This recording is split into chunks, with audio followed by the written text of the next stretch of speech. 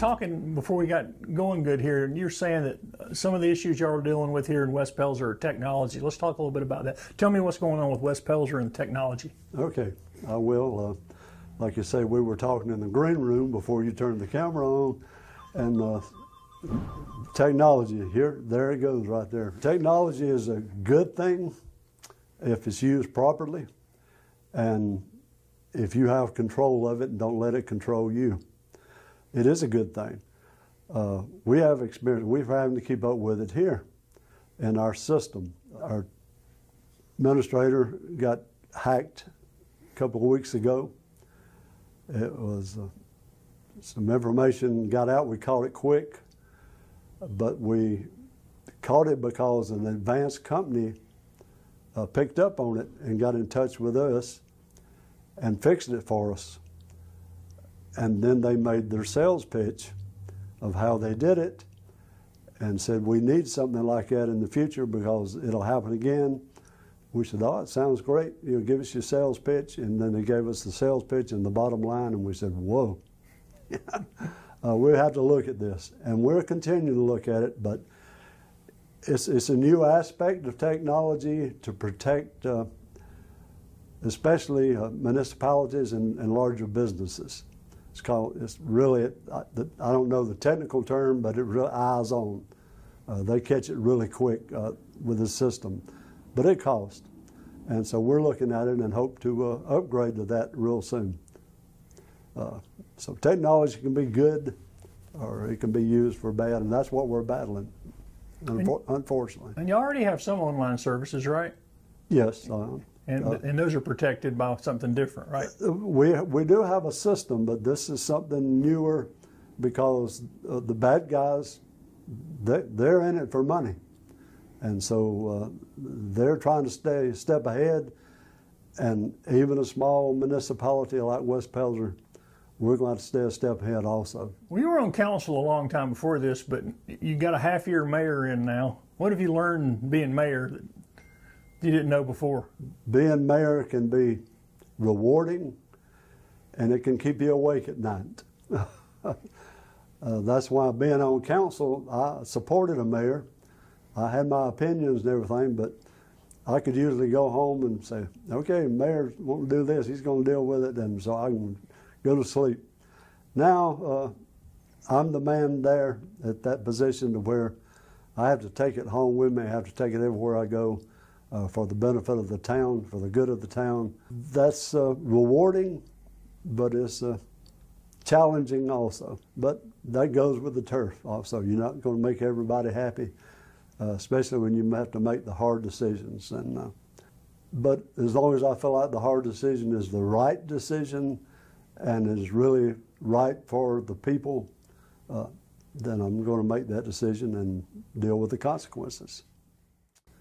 You mentioned technology. What are some of the other challenges that you and your council face kind of going through the summer here?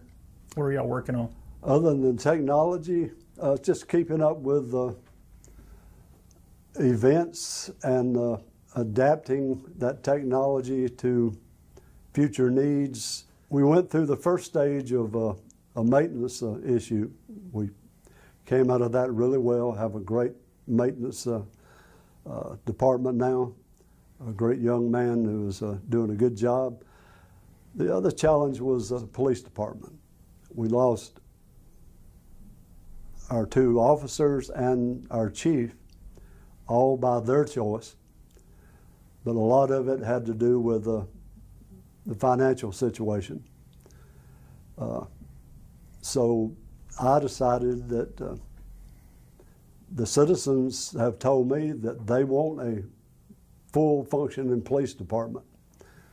And I says, okay, I'm going to get that, but to get it, uh, we're going to have to increase the pay and benefits to get the right people. Everything's up.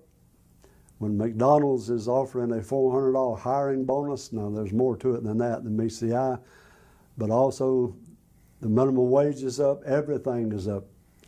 Uh, we could get into national politics, but we're not going to do that. But everything is up. And so to get good officers a good chief and good officers, uh, it's going to cost us more. And uh, to do that, the citizens uh, pay the cost. And the citizens have said that's what they want. So we just hired a new chief that starts July 1st. Uh, has a very impressive resume, and he's going to cost us a little more, but I think he's going to be worth every penny of it because he's also going to attract officers of uh, like quality. And I think we'll have in the long run a sustaining, functioning, good police department.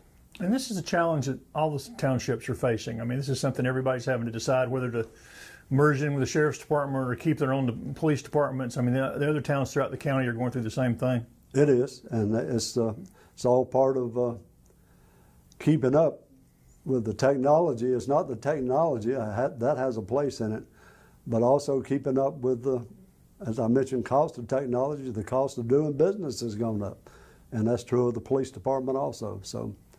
Uh, if we're going to have a top-notch police department, we want to pay top-notch wages within the scale, and uh, that's what we decided we're going to do. But it requires a tax increase. Uh, we haven't had a tax increase in years, a significant tax increase. Uh, we were going to have one. We passed it first reading. We got second reading coming up next month.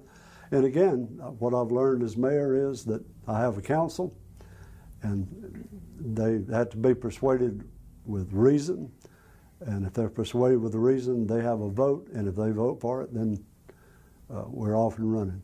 Anything so, else in that budget people might want to know about that don't follow it closely?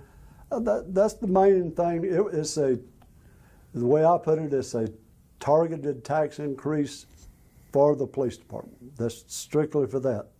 So the way it comes to a vote with council, they're hearing the same thing I'm hearing from uh, the constituents that this is what they want.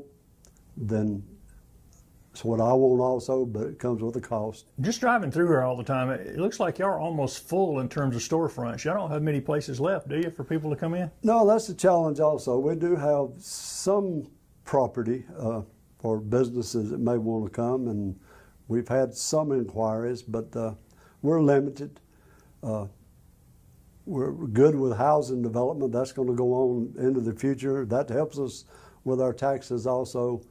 Uh, so financially, we're going to make it. Uh, but with getting new business, it's more and more difficult, and they've got to be targeted businesses uh, for for our availability, space availability.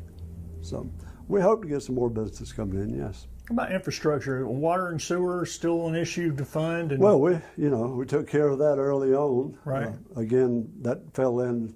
Sewer was taken care of even with the past administration. Uh, that was a wise move, a good move. It was passed on. Uh, water was considered at the time, but was not taken given the circumstances. But as things developed, uh, it became obvious that uh, we were going to be better off going to the water uh, route also with Greenville Water. And we did. And one of the things that's been said around here and fussed about for years is our water bills, our water bills. Well, as I understand, I'll probably be the first mayor in a long time that's actually lowered the water bill significantly by going with the Greenville Water. Plus, it took a huge burden off of the town itself of maintaining that system. So it's, I think it's been a good move. You mentioned events. You just had the dog show, which is the trademark of dogs and dancing in West Pelzer. What other events y'all got coming up? Uh, uh you were here for the dog show. I appreciate that. Uh, the dog show was great.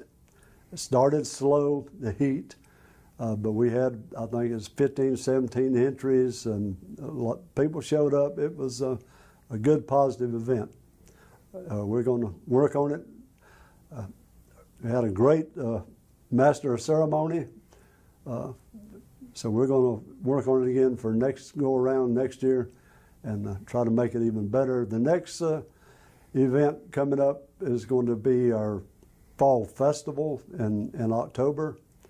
Uh, and that's like a farm fest and a old fashioned uh, uh, model after some stuff that was going on over in uh, Oconee County, uh, an old fashioned uh, uh, festival that focused on tractors and, and agriculture and animals, and as well as uh, there'll be some activities for the kids, kind of like an old fashioned fair, if you will. A lot of local, on a farm- much lot of smaller local scale. farmers here a lot for that. of local farmers, yes, and uh, so that'll be the next big event in October, and then of course after that, uh, now, in between that will be not a town-sponsored event, but Westies Market, which is a huge event also for West Pelzer, uh, put on uh, by Rick Sanders and Westies. Uh, that'll be coming up uh, in early October, and Lord have mercy, lest I be amiss as a new mayor. Our fall edition of the mile long yard sale will take place at the end of September. That has been so popular, uh, started by our former mayor. Uh, people, we did it once a year in the fall, but they wanted it twice a year. So we did it in the spring, and it was a huge success. And so we're going to do it again in the fall, and you have it twice a year. So those events are keeping us uh, well busy as a uh, as a town municipality uh, for the citizens, all for the citizens. We'll catch up next time. Thank you, Greg. Appreciate it.